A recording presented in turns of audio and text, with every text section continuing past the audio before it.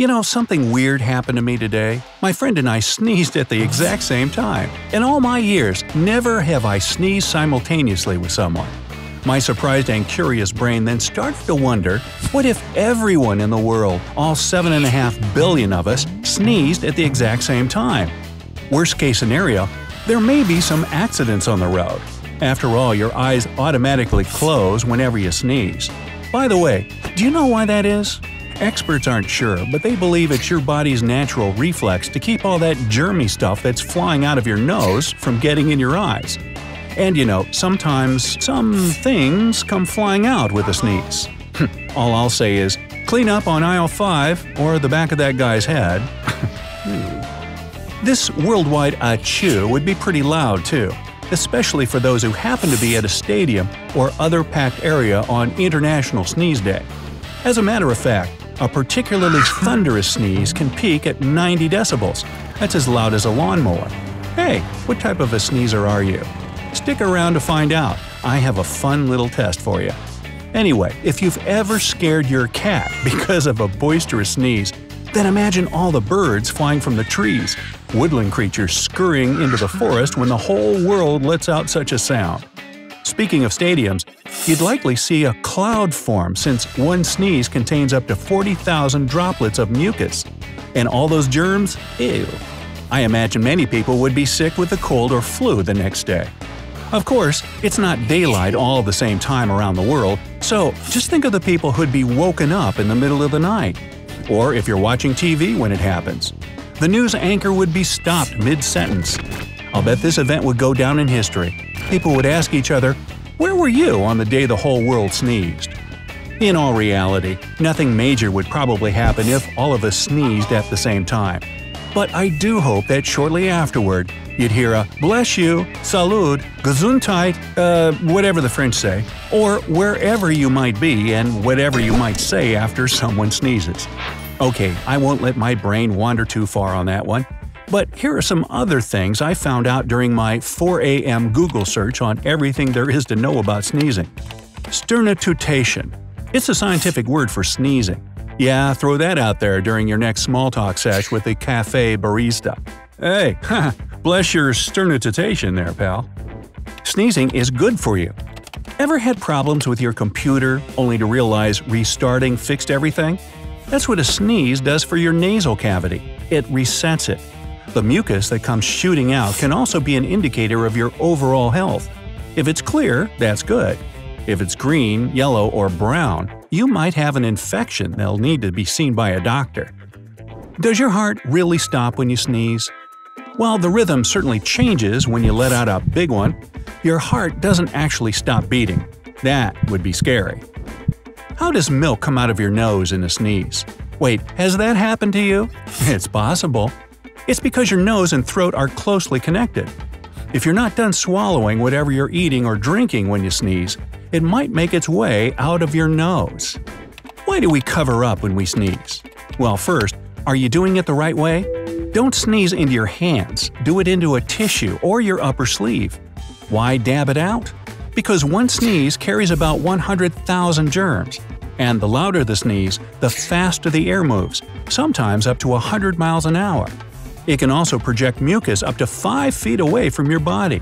Ooh, now that global sneeze sounds really messy. Is it okay if I hold it in? No, don't do that. Holding in a sneeze can damage blood vessels in your eyes and brain. Ow! So, why do we sneeze? Well, sneezing is the brain's way of ordering dust, dander, and pollen out of your nose. And here's a bonus question. Have you ever wondered why you sneeze multiple times? That's simply how many tries it took for your nose and your body to clear out whatever was irritating you. Hey, will that work on my boss? if it's not all out after one sneeze, brace yourself. More are coming, and you'll be better for it.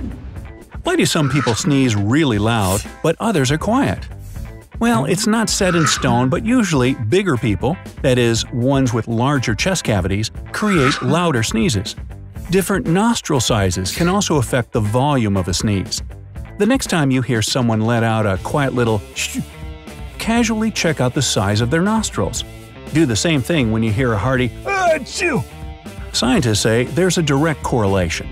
In fact, according to Patti A. Wood, a body language expert and lead of the Benadryl sneeze analysis yes, there is such a thing there are four types of sneezers in this world.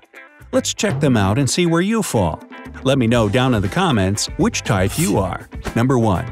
The nice or sensitive sneezer. This is a quiet sneeze. You know the type. They politely cover their nose and mouth when they feel one coming on. They're naturally nurturing and don't like inconveniencing others. Their subtle sneeze might be followed by a quick, excuse me. Number 2. The Be Right Sneezer. These people are methodical and everything they do has to be just so. They too will cover up when they sneeze, but they're less concerned about how it affects those around them. They're only interested in the correct execution of said sneeze. As long as they do it the right way and don't spread germs, all is right in their mind. 3. The Get It Done Sneezer Efficiency, it's their middle name. They want it out, and they want it out now. The Get It Done sneezers have no time to waste when it comes to nose irritants. They have more important things to do. Moving on. Number 4. The Enthusiastic Sneezer Ah, if sneezing were a sport, these guys would be cheerleaders. They're charismatic and a blast to be around, quite literally if they feel a tickle in their nose. When their brain tells their nose to get something out, everyone around them will know it. Their sneezes are grandiose and loud. Now, if you're still not sure which category you fall into, ask your family or friends. They'll know. Also, have them observe you in different situations, since most people sneeze differently in public versus private. Sneezing in a restaurant is naturally going to sound different than sneezing at home. Okay, last flash round of cool sneezing facts. Other than the obvious stuff like dust, dander, pollen, and pepper, what are some of the weirdest things that make people sneeze? The sun. Yup, that's right. A photic sneeze reflex happens when we walk outside and take a good look at our closest star or the light it projects. So, thank the sun next time you go for an outdoor walk first thing in the morning, only to be interrupted by a fit of sneezing. Strong emotions. Happiness, sadness, and anger are all emotions that affect our whole body, sneezing included. So, if you're ever crying, walking on cloud 9, or seeing red, and you let out a big one, remember that it's normal. Your body is just doing its thing. Spicy food. Here's a big term gustatory rhinitis. That's a fancy way of saying an inflammation of the glands in your nose caused by something you eat or smell. Since spicy foods tends to get the sweat glands going, sneezing is quite common. Cold air. Ready for another big term? Peripheral vasoconstriction. It sounds like some magical spell. Expectorate mucosium. But it basically means most of the heat in your body transfers to your nose when it's cold. Your nose becomes terribly dry, making you more prone to let out a big achoo. Staying hydrated during the winter should help you avoid it. Hot showers. If you find yourself sneezing in the shower, the fragrance in your shampoo, conditioner, or body wash may be the cause. If you start sneezing before scrubbing, you may be allergic to your tap water. More specifically, you could be reacting strongly to the chlorine in it. Dark chocolate. Remember the photic sneeze caused by the sun? Dark chocolate triggers the same sneeze in about one quarter of the population. You have genetics to thank for that one. Carbonated drinks. We all have a TRPA1 receptor on our tongue. When we drink a bubbly beverage, the carbon dioxide activates that receptor. When many receptors are switched on at once, our body produces more saliva and lets out a sneeze or sometimes a cough. Bottom line, remember this advice from Elsa in Frozen. When you gotta sneeze, it's best to let it go. Hey, if you learned something new today, then give the video a like and share it with a friend. And here are some other cool videos I think you'll enjoy. Just click to the left or right, and remember, stay on the bright side of life.